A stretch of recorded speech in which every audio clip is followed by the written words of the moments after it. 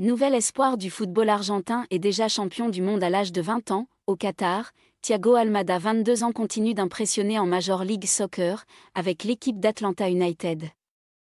Avec 13 buts pour 16 passes décisives lors de sa dernière saison, son profil intéresse les grands clubs du continent, dont celui d'un certain John Textor, propriétaire de Botafogo.